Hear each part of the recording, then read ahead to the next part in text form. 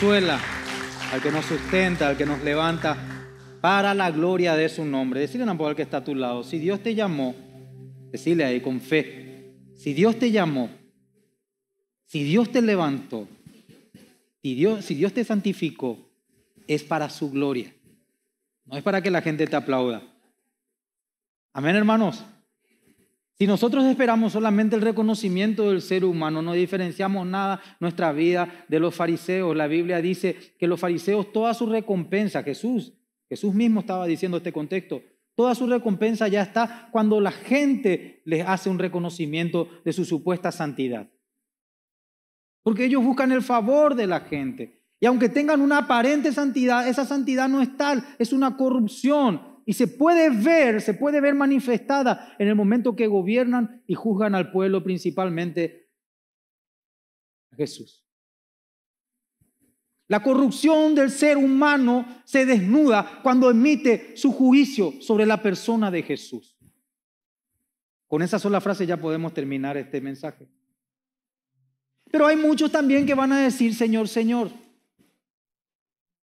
Y muchos de ellos hasta pueden tener señales, se puede interpretar de esa manera la Biblia. ¿Acaso no echamos demonios? ¿Acaso no profetizamos? ¿Acaso no hicimos esto y lo otro en tu nombre? No en el nombre de Pepe, no en el nombre de Emilio, no en el nombre de una organización, en tu nombre. Y él le dirá, nunca os he conocido. Hay una palabra muy hermosa ahí que habla de intimidad de cercanía, de ser uno. Nunca os he conocido. Y aunque puedan alegar buenas obras, dice el Señor, apartados de mí, hacedores de maldad. La corrupción es más que las obras externas que se pueden ver. Ahora, eso sí, las obras externas evidencian pero la corrupción a la cual Dios quiere que nosotros renunciemos es la corrupción del corazón. El título de la prédica era ¿Por qué hay tanta corrupción? Y vemos un pueblo, el nuestro, el paraguayo, ¿verdad? Que comienza a manifestarse. Humanamente hasta yo lo quiero hacer. Y no voy a ir hacia ese lado de decir si está bien o está mal podemos decir que sí y sin violencia, pero no ese es el punto. El punto es que hay paraguayos que están gobernando a los paraguayos. Y la gente dice gobiernos corruptos. Y de repente cuando miramos todo el contexto social, ¿verdad? Este, este tema de la pandemia y la escasez de suministro, uno puede decir, si hubo recursos, ¿por qué no están ahí los suministros? Y demasiado fácilmente uno puede concluir de que hay corrupción. Llámele, no sé, sabotaje político, negligencia. Ay, hermanos, no sé. Al final de cuentas es corrupción. Hasta ni siquiera el hecho de no saber hacer un trabajo y ponerte en ese lugar sabiendo que no estás capacitado para hacerlo es corrupción. Más bien tendríamos que decir, denme un tiempo, me preparo y voy. Corrupción, descomposición, putrefacción, depravación, pervención, perversión, inmoralidad, soborno, podredumbre. Y pudiéramos seguir, pudiéramos seguir con los sinónimos que expresan. No sé qué cosas te vienen en la cabeza mientras comenzamos a decir palabras como estas. Hermanos amados, hay dos decisiones que vas a tomar en tu vida, fundamentales. Son dos decisiones que cambian tu vida para siempre, para siempre. Bueno, puedes elegir dónde nacer. Es más, hasta cuando uno es adoptado, los padres tienen que tomar la decisión de acercarse al ámbito legal para poder ser padres en adopción. No puedes elegir eso. Pero sí puedes elegir con quién vas a formar tu familia. La persona con la cual te vas a casar es una de las decisiones más importantes que tomamos en esta vida terrenal. Y la segunda decisión es en cuanto a Jesús. De recibirlo o de rechazarlo. A partir de ahí vamos a desarrollar lo que es la corrupción del ser humano. Recibir o rechazar a Dios. Es así de sencillo, no nos compliquemos. Recibir es luz, rechazar oscuridad. Recibir es santidad, rechazar es corrupción. Así de sencillo, no nos vamos a complicar. Cuando no recibimos a Dios en nuestros corazones, nunca vamos a poder lograr manejar, usar, administrar o gobernar los placeres que Dios nos proveyó. Es imposible. Aún nosotros los cristianos con dificultad lo hacemos y con mayor dificultad aquellos que en nuestra vida, antes de haber entregado nuestra vida a Cristo, hemos activado niveles y niveles de concupiscencia. Pero solamente por el Espíritu Santo morando en nosotros podemos sostener o manejar los placeres. Porque la corrupción está ahí, hermanos. Suelo decir, aún para vender un chicle hacen sensualidad. Para venderte un refresco, como se dice en otros lugares, acá lo decimos, una gaseosa, hacen sensualidad. Y no cualquier tipo de sensualidad. Yo he visto la propaganda de Spray, hermanos, así, una que, que corrió por el internet, que estaba un chico con una señorita en la pileta, era obviamente su novia, eso se entendía en el contexto, y viene la mamá trayéndole el spray a los dos. Y el chico le mira con una lascivia y la mamá también ahí parece como que, eh, no, es que se incomoda. Perversión, corrupción. Y ellos están vendiendo un artículo de consumo masivo. ¿Cómo tiene aceptación? ¿Cómo nadie dice nada? ¿O nosotros nomás somos los locos? A causa de la corrupción no podemos manejar los placeres, no podemos manejar el poder, no podemos manejar el dinero. Salomón dijo, todo es vanidad. Y la palabra ahí significa vacío, sin valor. A causa de la corrupción, la belleza de la intimidad sexual, el placer que implica la misma, se vuelve vacío. El dinero que pasa por nuestro bolsillo nos vuelve vacío. Y el poder que puede ser de alguna manera delegado sobre nuestras personas, hablo desde un contexto como si yo también estoy en el mundo de los corruptos, el poder que pasa para que administre yo con mi mano le vuelve vacío a los que están bajo mi autoridad. No lo vemos todo el tiempo y en distintas latitudes. Me refiero a distintos países. El pecado es universal. La oscuridad y la corrupción no hace distinción entre raza, lengua, cultura y nación.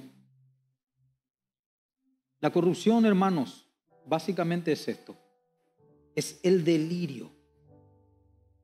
Pudiéramos decir así como cuando alguien se droga y se alucina.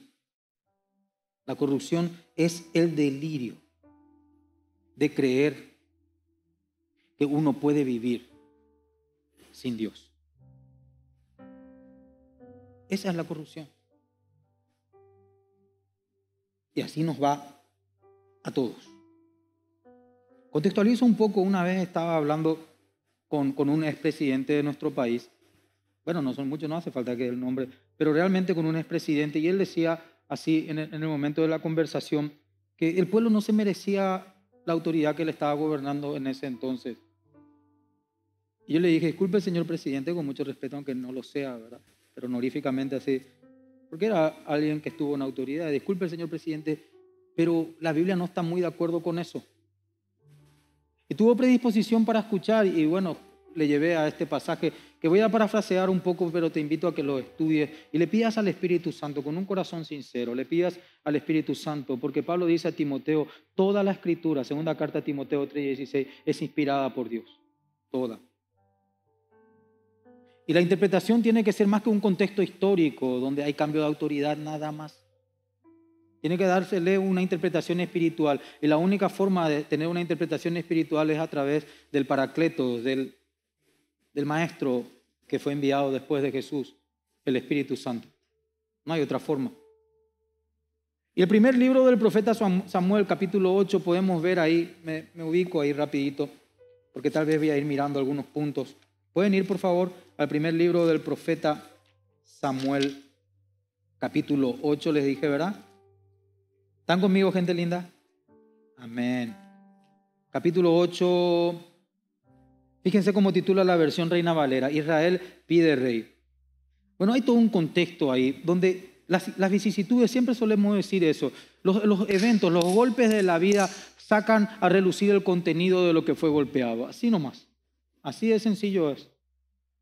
Un lado de la cruz, sálvate y sálvanos a nosotros. Ni ahí tenía temor de Dios, estando a minutos tal vez de morir. Me refiero al tiempo de la crucifixión. Y del otro lado, con los mismos golpes, dijo, no tienes temor de Dios, sabiendo que estamos en un juicio o en una condenación que merecemos.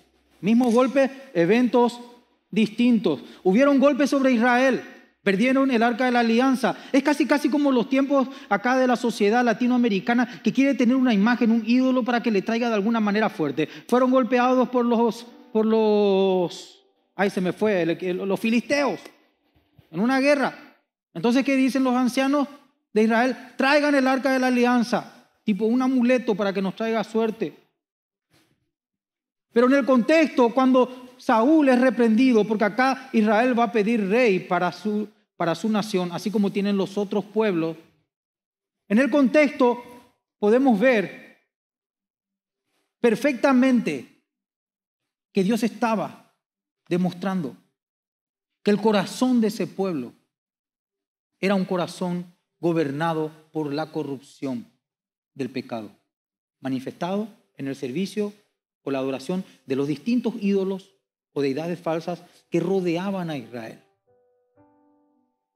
Quieren ganar, quieren usarle a Dios, quieren tener nombre como si fuese que tienen relación con Dios, pero no quieren a Dios. Esa es la corrupción más peligrosa. De los que quieren tener nombre como hijos de Dios, pero no quieren el gobierno de Dios. La única forma de poder vencer a la corrupción, la cual combate todos los días en nuestra humanidad, es sometiéndonos a la autoridad de Dios. Israel pide un rey como los otros pueblos.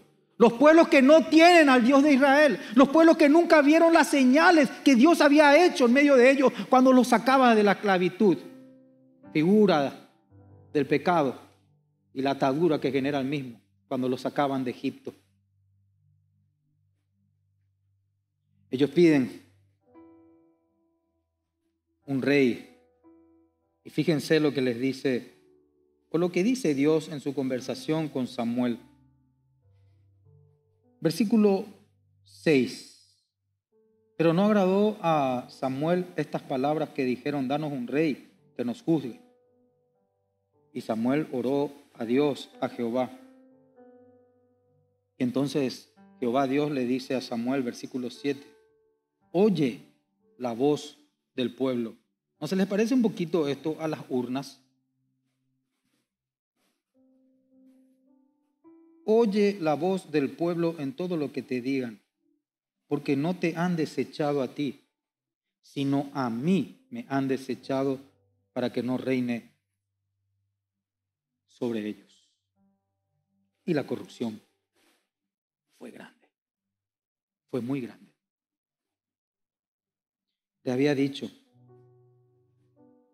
cuando estamos corrompidos, es imposible administrar, usar correctamente los recursos, la delegación de poder y la participación en los placeres que son lícitos.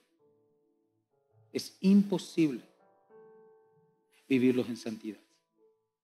No hay problema con el poder. Desde el Génesis el plan de Dios fue empoderarnos no hay problema con el placer. El problema está en entronizar el orgasmo. No hay problema con el dinero. La raíz del mal es el amor al dinero. Es más, la Biblia dice raíz de todo mal. Y si sos sincero así en tu corazón y comenzás a mirar con una perspectiva espiritual, pidiéndole al Santo Espíritu de Dios que te muestre en verdad tal cual son las cosas, vas a ver que detrás de toda la corrupción que hay, siempre hay ese dinero que en sí no es el problema. Porque el Señor dijo, dad al César, administre bien su dinero, apaguen sus impuestos. lo que es del César, pero a Dios lo que es de Dios. La imagen de quién tiene la moneda, del César. El dinero representa un reino que va a terminar. No podemos vivir esclavizados a algo que no se puede retener. Pero darle a Dios lo que es de Dios. ¿Quién fue hecho imagen y semejanza de Dios? Vos y yo. Es nuestro corazón lo que venía a buscar el Señor. Para que podamos escapar de la corrupción. La corrupción que no solamente está en los estamentos de autoridad. Decimos y repetimos hasta el cansancio. Este pueblo ha desechado a Dios. Y tiene gobernantes conforme a su quilate. Por ahí dijo alguna vez un economista, suele es una frase célebre ya en nuestro entorno. Duele decirlo, pero ahí hay que decirlo. Y es bueno que duela. Porque según la carta a los Corintios capítulo 10, solamente cuando viene el dolor que propicia a Dios se genera el arrepentimiento. No hay otra forma de escapar de la corrupción. No existe otra manera. Si existiese alguien, por favor, me puede ayudar. Miremosle a Saúl. Poder. Perdonamos al rey de Amalek. ¿No te dijo Dios que destruyas todo? Y saquemos ahí un conflicto bélico entre, Dios, entre dos pueblos que hasta casi casi lo podemos contextualizar hoy con Israel otra vez en su tierra y con la gente que está ahí eh, eh, en la franja de Gaza. Podemos decir, hasta continúan peleando. Pablo dice, el Nuevo Testamento, la revelación que es por medio de la persona de nuestro Señor Jesucristo, nuestra lucha no es contra carne ni sangre. Tenemos que vestirnos de una armadura espiritual. Las armas de nuestra milicia son espirituales. Aquí el rey de Amalek representa querer gobernar de alguna manera haciendo alianzas con cosas terrenales. Muchos cristianos vivimos así. Hay un poder en la mentira. Y dejamos que la mentira haga de alguna manera alianza en medio de nuestra manera de vivir.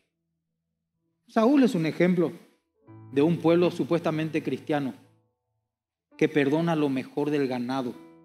Es como querer traer un dinero de un asalto, de un robo y traer el 10% al alfolí como una ofrenda. Dios dice, no. Dios dice, no, eso es corrupto. Es anatema, no sirve.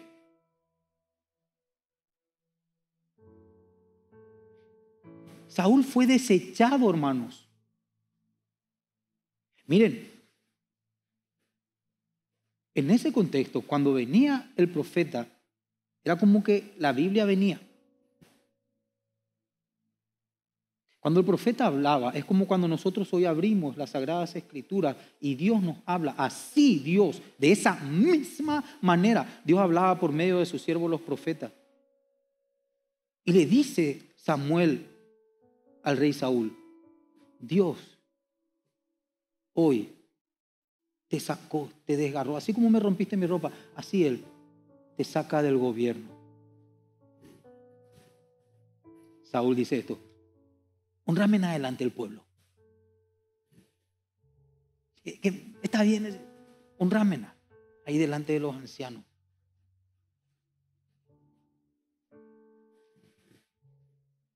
¿Qué te importa más?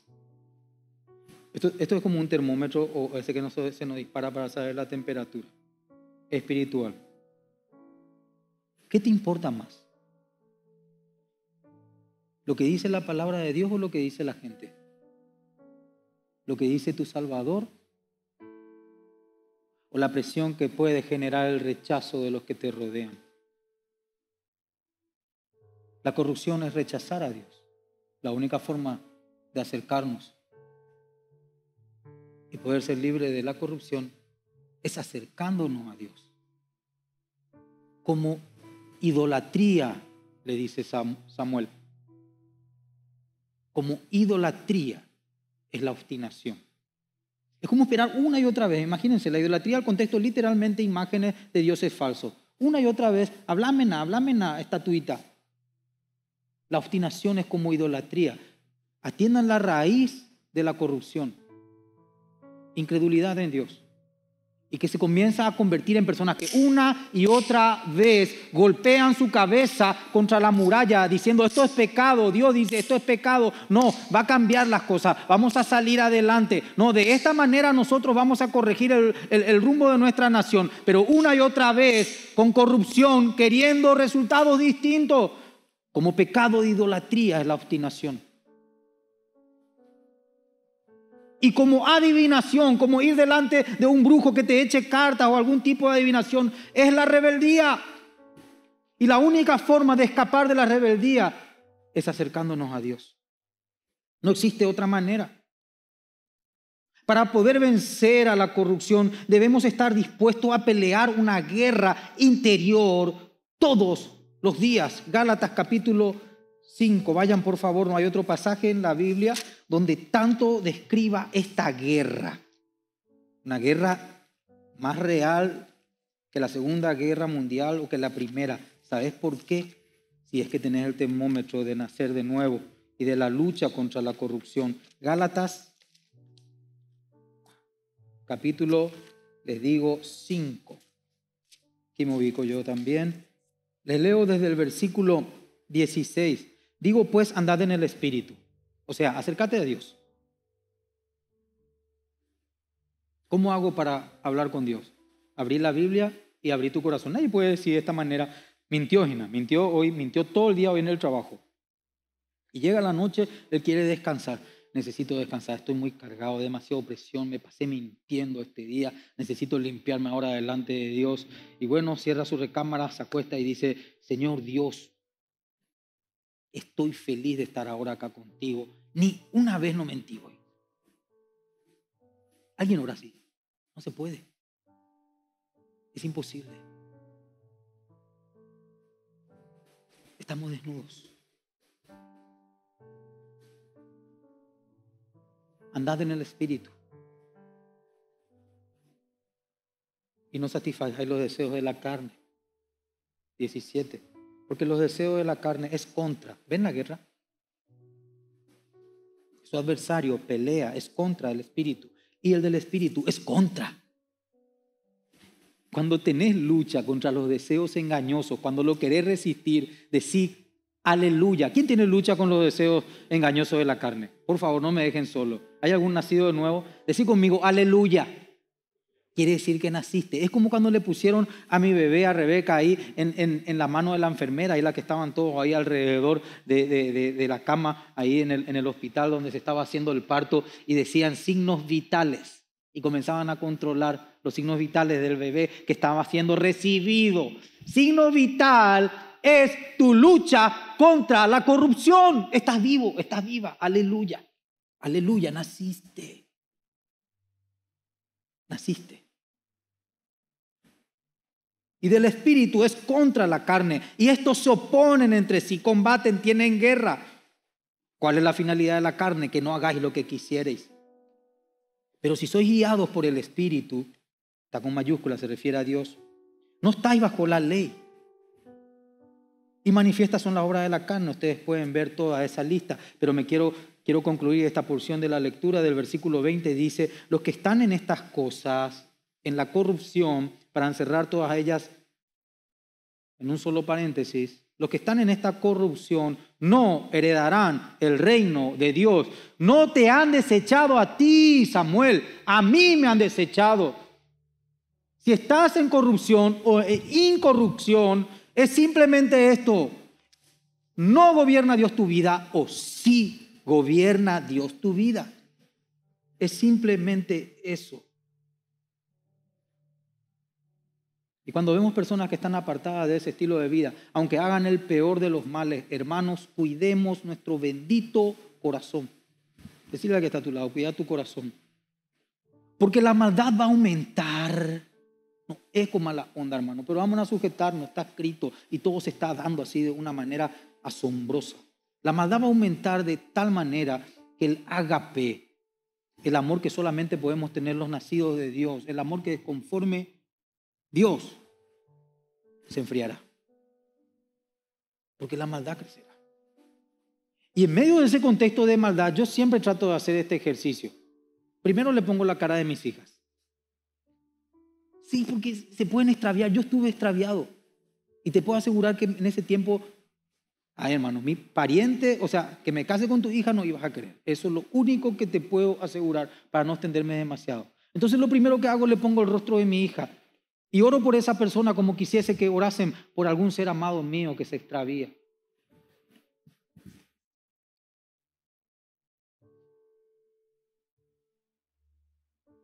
Y segundo, yo no soy Dios. Y puede ser ese que está persiguiendo, que está matando. Puede ser Saulo de Tarso. ¿Me siguen la comparación? Consintió en la muerte de Esteban. Un hombre lleno del Espíritu Santo, con testimonio, un hombre digno de dejémosle vivir. pero que después ese Saulo de Tarso fue el apóstol Pablo. ¿Por qué no? Sujetemos nuestro corazón en esperanza. Decirle que está a tu lado, por favor, sujetan a tu corazón en esperanza. Porque si no le vas a odiar a medio mundo, decirle.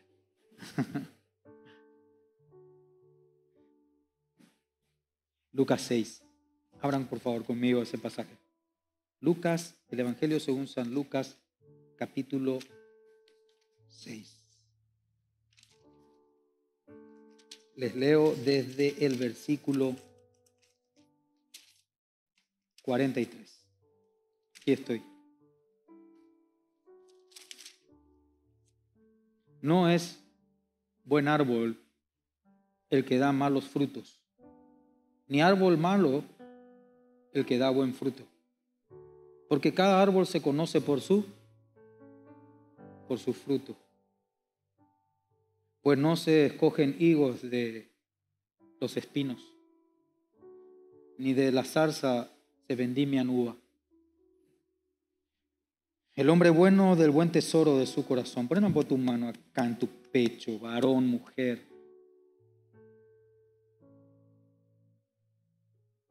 ¿Qué tenés ahí? Porque el buen hombre del buen tesoro de su corazón, sácalo lo bueno. Si fueses un árbol, ¿cuál es el fruto? Es un fruto donde las personas pueden ver a Jesús, un, fruto de santidad, que es lo único que nos diferencia del mundo. Porque el mundo puede tener salones de auditorio más, con más infraestructura, pueden tener más elocuencia que nosotros, pueden tener más dinero, muchas cosas más que nosotros, pero la santidad es solamente de los hijos de Dios. ¿Es un fruto de santidad o es un fruto de corrupción? Porque del buen tesoro de su corazón saca lo bueno. Y el hombre malo del mal tesoro de su corazón saca lo malo. Van a haber discursos como este. Seguridad y paz. Pero gran calamidad traerán. Hablarán de piedad pero su vida va a negar la eficacia de la piedad, porque son árboles malos.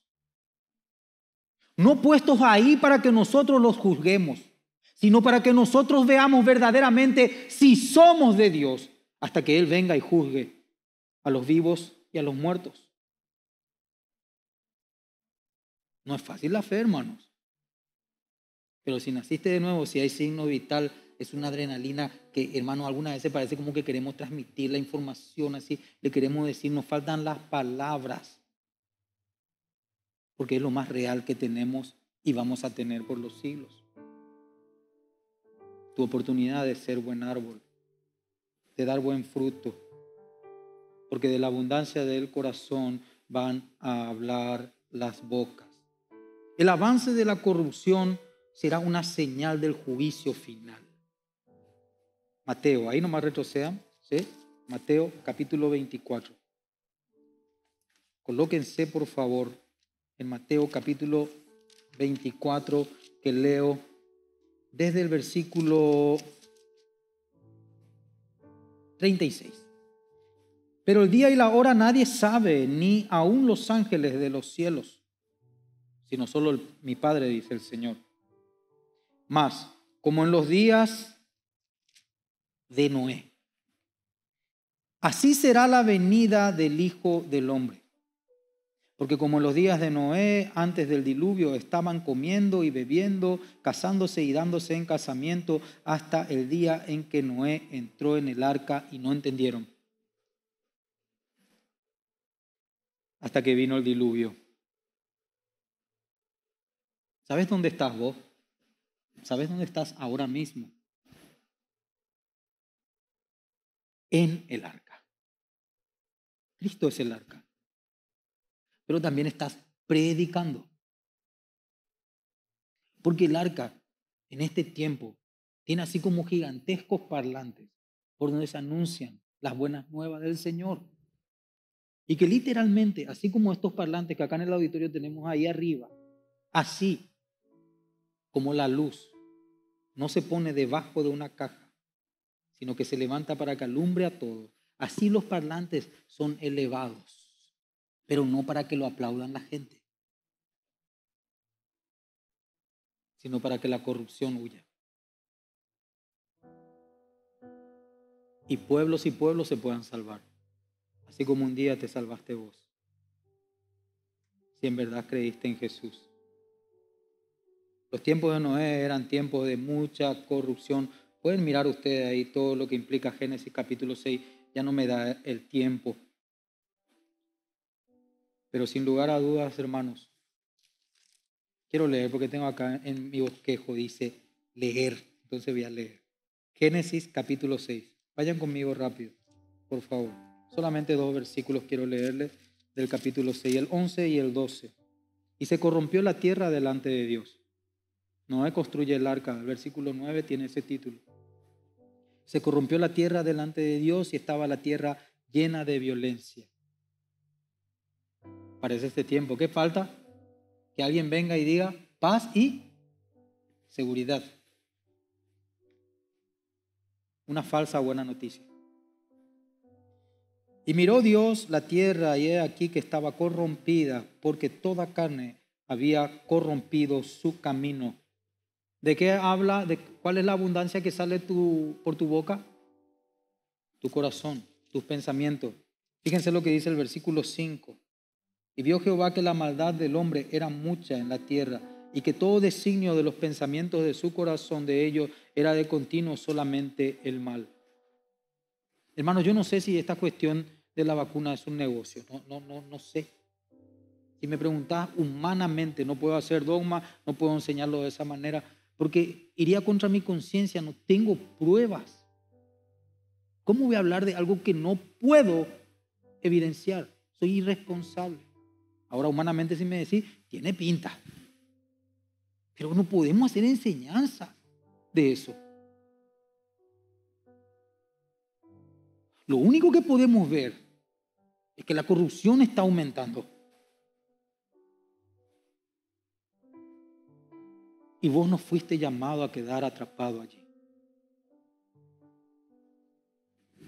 El apóstol Pedro lo, dice de, de esta manera huid de la corrupción. Segunda carta del apóstol Pedro, el capítulo 1, ahí el 3 y el 4. Habla de promesas grandiosas. El Evangelio, que vienen a nuestro corazón y nos hacen nacer a una nueva naturaleza. Literalmente dice la Biblia, naturaleza divina. Y por esa evidencia que es personal, entre paréntesis, ojalá los pastores pudiéramos ejecutar de manera así, hasta con, nuestro toque, con nuestro soplo, qué sé yo, hermano. No quiero ofender al Espíritu Santo ni hacer burla de nadie. Pero no está en nuestro poder. Dios engendra a los suyos, pero es una evidencia personal. Es algo que se sucede en el corazón, la cual nos seduce, nos vence literalmente y comienza a combatir con el pecado de nuestra carne. La carne fue engendrada primero. Imagínense, venimos con nuestros conceptos desde cuestiones que quedan en el subconsciente, que ni siquiera podemos traerle al consciente, pero que vemos que trabajan sobre nuestro consciente. No sé si me explico, nuestras vidas del día a día, cosas que son malas, pero las practicamos como si fuese que no las son. Y después viene el nuevo nacimiento. Y comenzamos a combatir con ellas. Ya no golpeando nuestra cabeza con el pecado, sino sometiendo con golpes nuestro cuerpo. Quiero que abras por favor la carta a los Corintios, la primera, capítulo 15. Ustedes saben que se me fue el tiempo porque quiero terminar antes. Pero no quiero dejar de leer un pasaje tan glorioso como esto. Primera carta a los Corintios, capítulo, el último capítulo, el 15. Les leo desde el versículo 42. Fíjense la esperanza. Tu esperanza no es tener mucho poder. Tu esperanza no es tener mucho placer, no es tener mucha riqueza. Eclesiastés dice que aún, esto no es contentamiento, pero aún es un don de Dios, es un regalo el poder disfrutar de nuestro esfuerzo, de lo que pasa por nuestras manos. Hay gente que tiene mucho, pero vive en desventura y haciendo daño con todo lo que tiene. No tiene capacidad de contentamiento, porque eso es un regalo de Dios, que le ayuda a escapar de la corrupción. Nuestra esperanza es la resurrección, hermanos. Gloriosa resurrección que partió en un antes y un después la historia de la humanidad.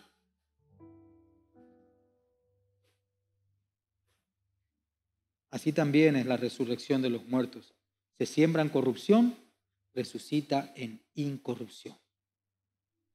Tu cuerpo corrupto irá a la tumba. ¿Saben hasta cuándo van a combatir con la corrupción? Hasta la tumba. Decirle ahí para que se tranquilidad que está a tu lado. Vas a combatir hasta la muerte. Pelea la buena batalla de la fe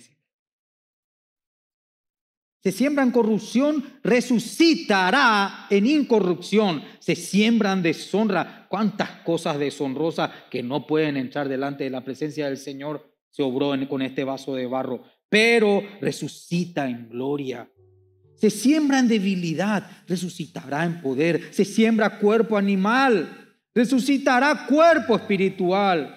¿Sí? Porque hay cuerpo animal y hay cuerpo espiritual. Así también está escrito, fue hecho el primer Adán, alma viviente, el postrer Adán, Jesucristo, espíritu vivificante, para que podamos, como enseña el apóstol Pedro, huir de la corrupción, espíritu vivificante, más lo espiritual no es primero, sino lo animal. ¿Por qué? Porque nacemos primero de voluntad de carne y de sangre. O sea, un papá, una mamá se junta, óvulo, esperma, pum, ahí estamos lo animal, lo corrupto primero viene. ¿Por qué digo corrupto? Porque todos pecamos. ¿Y cómo es evidencia? Todos morimos.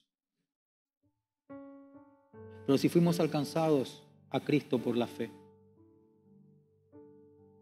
se siembra corrupto, se cosecha en gloria. Porque el postrer Adán es espíritu vivificante. Más lo espiritual no es primero, sino lo animal, luego lo espiritual. El primer hombre es de la tierra, terrenal, quedará en la tierra. El segundo hombre, que es el Señor, es del cielo. Decirle al que está a tu lado, ¿vos crees en Jesús? Preguntad en ambos. Si te dice que sí, decirle, sos del cielo, mi cielo, decirle. Especialmente los esposos le pueden decir a la esposa eso. Sos del cielo, mi cielo. Es del cielo. ¿Cuál es lo terrenal? No le pidas higos al abrojo, higos al espino. ¿Cuál es lo terrenal? Lo terrenal. Tales también los terrenales. ¿Y cuál es, perdón, y cuál el celestial? O sea, vamos a decirlo de esta manera. Así como Jesús, así tenés que ser. Eso es que huiste de la corrupción. Obviamente, ni vos ni yo no somos Jesús, Juan lo enseña. Podemos ir a la carta de Juan capítulo 1. Que le dice su vida a la gente, pero no puedo dejar de pasar estos pasajes. Primera de Juan capítulo 1. hijitos, estas cosas os escribo. Capítulo 2 dice, versículo 1, para que no pequéis. Y si alguno hubiere pecado, abogado tenéis a Jesucristo, el justo, el único justo, el único que dejó la tumba vacía. Así conmigo, aleluya, por nuestro Salvador. Capítulo 1, primera de Juan, capítulo 1, versículo 7. Fíjense lo que dice aquí la palabra de Dios. Pero si andamos en luz, como Él, Jesucristo, está en luz, tenemos comunión unos con otros y la sangre de Jesucristo, su Hijo, nos limpia de toda corrupción, de todo pecado. Corrupción es rechazar la sangre que nos limpia. Incorrupción, santificación, es recibir el poder de la preciosa sangre de Jesús como nuevo pacto entre Dios y nosotros los hombres. La única forma de poder llegar a la santificación, a ser limpios por medio de la sangre de, Cristo, a escapar, como el apóstol Pedro dice en su carta, a escapar de la corrupción, es llamando al pecado pecado, hermanos. A lo malo decirle simplemente malo. Y si lo hiciste, confesalo. Porque el que encubre no prosperará. El que encubre su corrupción no prosperará. El que lo confiesa y se aparta, ese haya misericordia. Llamalo malo, malo, confesalo y arrepentite.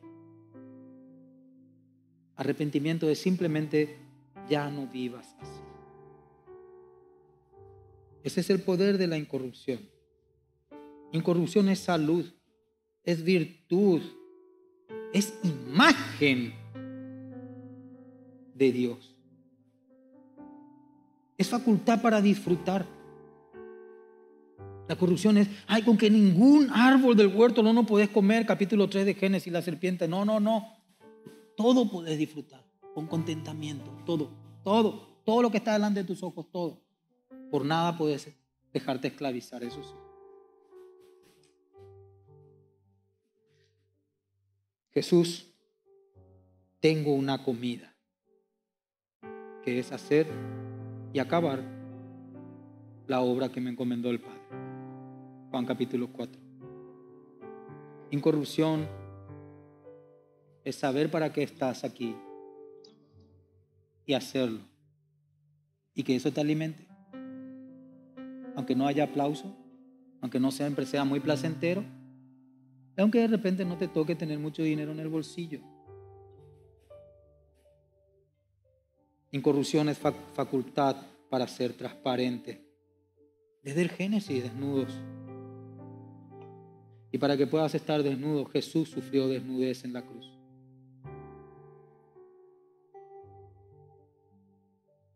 Pudiésemos quedarnos toda la noche pensando en eso.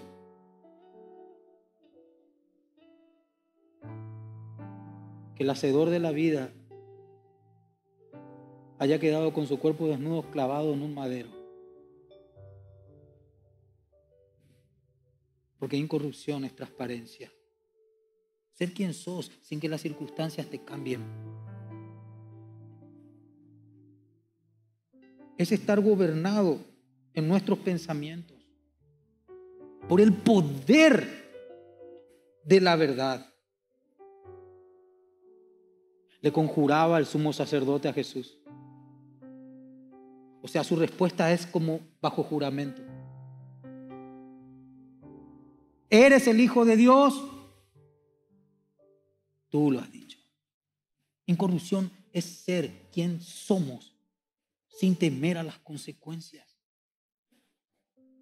Se desata un poder que libra a muchos de la corrupción más de lo que vamos a poder imaginar. Incorrupción es facultad de compartir. Nuestro amado Jesús siempre como ejemplo y hoja de ruta a seguir. Yo tengo autoridad para poner mi vida y Él como unigénito del Padre, como el Logos, como el Verbo, como la palabra hecho carne, como Dios mismo, tengo autoridad para volverla a tomar. Vos no tenés autoridad para volver a tomar tu vida. Pero si escapaste de la corrupción, tenés poder para poner tu vida por el bien. Tenés poder. Porque todo lo puedo, dice aquel que puso su vida en favor del Evangelio, el apóstol Pablo. El apóstol Pablo. Todo lo puedo en Cristo que me fortalece. Facultad para compartir lo mejor de ti. Y me encanta esta palabra, compartir.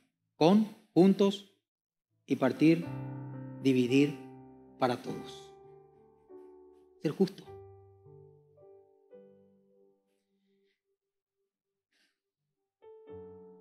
Hermanos amados, termino con la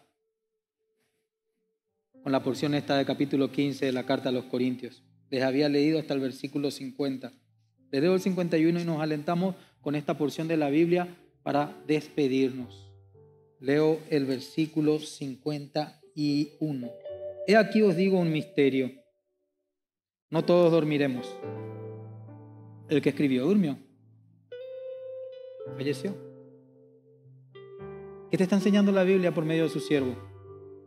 ¿Qué te está enseñando Dios por medio de su lápiz, Pablo? Los que escaparon de la corrupción se les identifica por la esperanza que les sostiene. No todos dormiremos. Yo también le digo, yo ya se arrebatado. Ay, ¿qué te crees? Hermano, ¿qué pico crees? Entonces el, arrebatamiento es por buena obra, pero no es por la salvación por fe, o es fe más obra. ¿Cómo sabes en quién creíste? El que se bajó de su trono a morir por vos en la cruz, si Él viene y la doctrina del rapto es correcta, yo me voy, no porque estoy predicando, no porque soy más bueno que vos, porque la sangre de Cristo me limpia de la corrupción. Esa es mi esperanza. No puedo vivir sin esa esperanza, porque la corrupción que mora en mi carne me estiraría de vuelta al fango como un cerdo que se le bañó y volvió al chiquero. No puedo sin esta esperanza. No todos seremos, perdón, no todos dormiremos, pero todos seremos transformados. Aleluya. ¿Qué está hablando ahí? El cuerpo corrupto, no todos serán sembrados, serán transformados. Lo corrupto en el aire, en glorioso, espiritual, celestial. En un momento, en un abrir y cerrar de ojos, a la final trompeta, porque se tocará la trompeta y los muertos serán resucitados incorruptibles. Y nosotros seremos transformados.